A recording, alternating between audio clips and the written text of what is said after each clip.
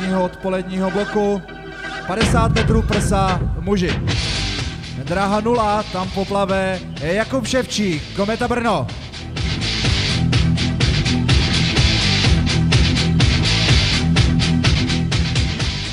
Dráha číslo 1, tam poplave domácí závodník Jirka Pivoňka.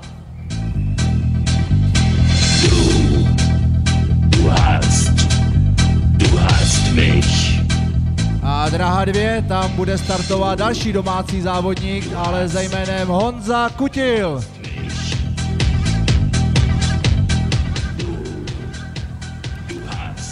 Na dráze číslo 4 bude startovat reprezentant České republiky, účastník z letošního mistrovství Evropy v Berlíně, Honza Petr Bartůněk. Dopoledne nejrychlejší a v novém rekordu plzeňských sprintů bude plavat Marek Botík, Slovenská republika.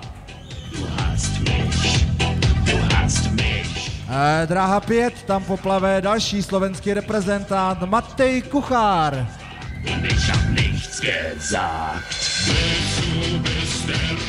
Eh, Dráha 6, Ondřej Piskač, Olim Praha.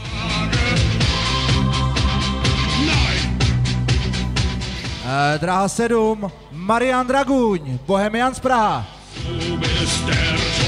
Scheide. Treue sein. Eh, Dráha 8, slovenský reprezentant Peter Durišin.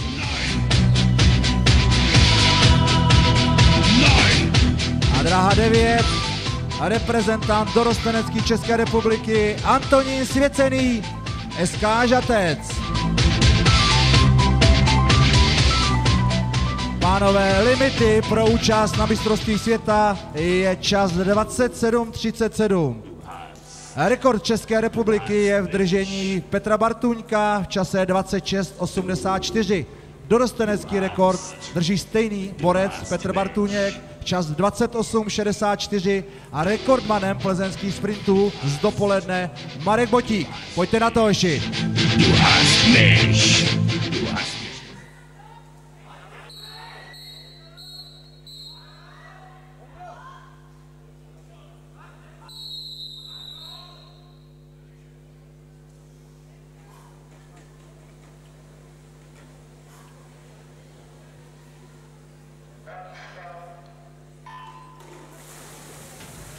No Marek Botík neměl ten start jeden z nejlepších, ale rozhoduje se až ve vodě, ale na té 50 jsou všechny momenty důležité. Start, obrátka a potom, co předvedete v těch dvou bazénech. No a Petr Bartuněk, podívejte se, Barta, můj favorit Petr Bartuněk, 27-23 a vítězství v tomto finále. Nový rekord plzeňských sprintů a přátelé, 27-37, limit byl do Doha. Takže Barta, gratuluju. Máme prvního limitáře v podání mužů na mistrovství světa a jen Petr Bartuněk, chemička Ústí.